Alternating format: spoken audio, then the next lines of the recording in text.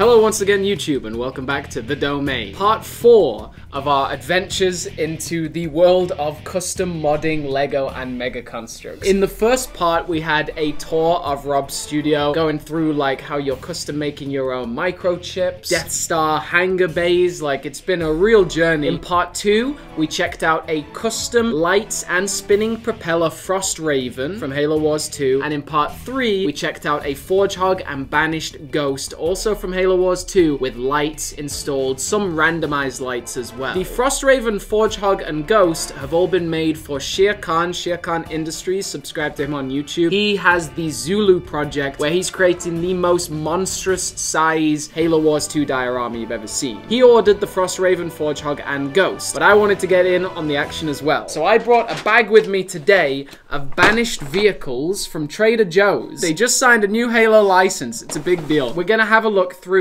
and hopefully we're gonna figure out what we can kit these out with, right? Sure. Yep. Have a look. I'm a little nervous. First of all, have you played Halo before, Rob? Of course. Everybody has. Who has not played Halo?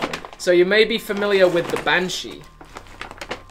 The, the Banshee. There we go. Of course, the Banshee. We talked a little bit about some of the Halo models, I think, before, Hmm. and how what I love to look for is I love to look for things like on the Ghost, transparent bits Hmm. on the model that we can use for engines, that we can use for lasers, we can use for hover things. I don't know, looking at it real quick, if this one is the best one to go with. We don't really have any engines in the back. It's a bit bare bone, to be honest. I don't think this is the best Banshee they've ever made. We could have, yeah, an LED dis- Yeah, display, but that. Really Yeah. the engines, the turbines are quite limited. So yeah, maybe this is not the best one. The- I guess the benefit of these sets is they have firing missiles, so you can fit LEDs Sure. in there, right? Sure, we but could do that. Maybe this is not the best one to start with.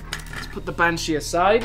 Alright, well how about this? We've got another Banished Ghost. I don't know how much easier it is to custom fit than this one. It's probably going to be more difficult because there's not as much room. Um, and again, given the limited setup here where you just kind of spring this stuff on me and, and want me to figure it out, I don't know what we can do right now. So maybe Yeah. something where we can just put some lights in. We'll save the effects if I can work with some of these after you leave, and then I'll you can, leave them like, all with you. Yeah, report back and then uh, see how it's going. absolutely. So this is this is one where we certainly want to get those random effects in there again too, Mm-hmm. just to make it look more like that. So if I can take this back to my shop, let's put that one on the list as well. Okay. All right. What else you got? Maybe Okay. some balsamic vinegar from Trader Joe's, or no? No, it's all about that. Uh, what's it called? The everything bagel seasoning. Oh, that that stuff. is good. I've got the banished marauder. Okay, now this is better because what I like about this one, just looking at it real quick here, these two lights in front, we can definitely do that probably right now. I've got an idea for the bottom as well. Hmm. These little transparent bits. Again, we love to look for things that are transparent and bet. glowy, I right? bet. So why don't we give it a try if you're up for it? Oh yeah, you want to Um, do this one? Yeah, let's see what we can do real quick here. I brought a selection of products that we sell that I think might be a good fit for this one. So let's just kind of figure it out really quick here Cool. in real time. So And these are all available on brickstuff.com. Like, this may seem like a daunting task, but it's actually very easy to kit out at home. We've also got this exosuit. This is like a really easy, simple model. And also, this has a lot of nooks and crannies that might Yeah, be might be for easy sure. for you. The chopper, we got half a chopper. What Half a happened? chopper. And then we also have the Skiff Intercept, a cut vehicle from Halo Infinite, never appeared in the game. Oh, and a little Banished Phantom on there. I thought these Banished Phantoms might be uh, a little, kind of quite easy to fit a little searchlight on, just like a simple single Mm-hmm. LED. absolutely. And what we're going to be able to do today, I think, is just like maybe fit out one with lights, right? Yeah, absolutely. But in the future, I'm going to leave this all with you, and hopefully we can like get some really cool stuff going in the next few months. Yeah, definitely. I'd love to work on this stuff. You can start really simple, then you can add on things later like effects or like sound if you wanted to. I mean, I would love to see these things turn. Oh, you could You get know, that turning. Give it a try, like you saw with uh, Frost Raven. We've got really tiny motors, so something we could play with. If it turns, let's motorize it. Absolutely. Now, this guy, I think, why don't we just start with this here for today? Mm. So, what I'm going to recommend is, again, our small coin cell battery pack that we had seen before for the Banished Ghost, a product that we sell on our website. I've actually taken the liberty of already putting a battery in one of them here so we can get it running quickly. We have some little LEDs. We call them Pico LED lights, and we have them in a whole bunch of different colors on our site. They are four millimeters round, so really tiny circuit boards and wires on them. So you can see actually here's an example of one of the lights. Oh, look at that. That's the light? That's the light, right? So it's super it's small. It's so small. And it's made to fit in a round one by one stud space. So you can put, with the wires being as thin and strong as they are, you Mm. can put plates and slopes and bricks and tiles and things right on top of the lights. Do you have to put a little glass rim on top of it? You don't have to. Just exposed. Mhm. Yeah, exactly. Wow. And these right here are special because they're actually they have a little tiny flickering chip built into them. Yeah. So they'll actually flicker. So I thought we could look at putting them under here and seeing how they make the bottom globes look. Wow. So this is this has four slots in, right, for four LEDs. If I plug this in right now, will it just light up? Yeah, go ahead. There's a switch on the board. I think it's off. So All right, here we go. on. Wow. And there you go.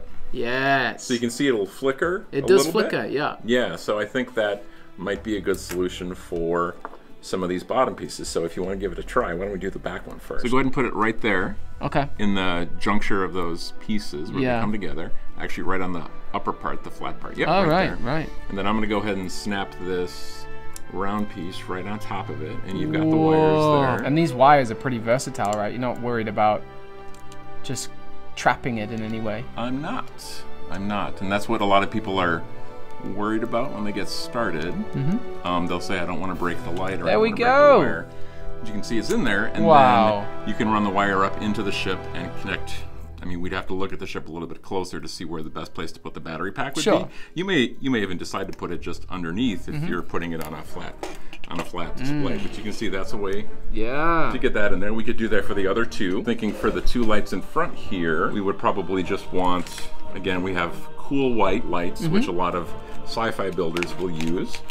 And we could put, actually this is a 10 pack. We have them in packs of 10 and packs of two. I'm gonna go ahead and just take a two pack here. You can see they're the same size and the same shape as those flickering yellow ones, but they have a cool white chip inside, so the color will be different, and these don't flicker. That's amazing, honestly. Yeah. Yeah, see? Like I said, I haven't seen this model before, Yeah, right. so I don't quite know how it's all put together. It's literally just that uh, diagonal piece, yeah. yeah, so we want to try to get under that piece. Let's just break this apart. so if you want to hold that, I'm going to go ahead and take the light part of the LED, Mm-hmm. so it's shining upwards, and then we're going to go ahead and put it that up.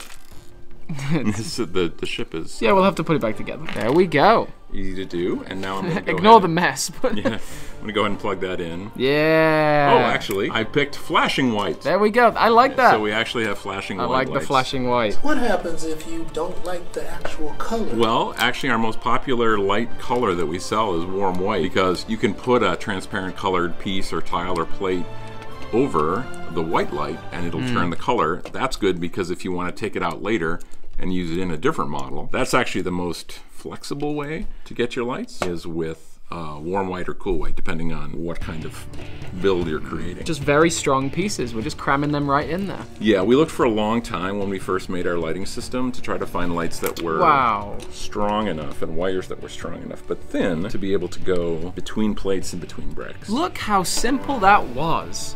Honestly, I'm trying to convince my viewers that this is a cool thing to do, but I didn't realize it was that easy. Like, that's actually absurd. Pop this whole battery. Look at that. Minute effort, but That it's was not lit- bad. legitimately like less than five minutes. And we have bad. flashing lights and we have that underneath. I would definitely have a set of three. And I'm assuming you can like, uh, like you said, extend all this out so you, you don't just have to rely on four. You could have like, like you said, like 16 or something. Exactly. And There we go. have a lights marauder with with almost no effort. The sky's the limit, like we were discussing in the last video on what you can do here. We could have a light up LED display screen for the pilot. We could have a firing gun, even with the sound effects pre-installed into a chip. So every time it fired, it literally made the same cannon firing noise as in game. And again, if that's something you'd want to hear, your viewers should let us know in the comments because Yes. we that's something we can do. We always just want to know what are the top requests Mm. from the fan community. Like Rob has mainly done Lego builds in the past, but with Shere Khan Industries, he's been kitting out uh, Halo more and more, right? And it's definitely something you would like to do. Maybe even selling custom kits for specific vehicles like the Warthog Rally. I think that's the one that comes to mind. But if you want to let us know in the comments down below what vehicle you would like to see, what kind of effects you would like to see, and if you would even like to see tutorials on how to do this more, I'm going to leave most of my vehicles with Rob now, and we'll see just how far we can take this. Yeah, Rob, thank you very much Thank for you. The help today. I'm still just blown away by how easy that was.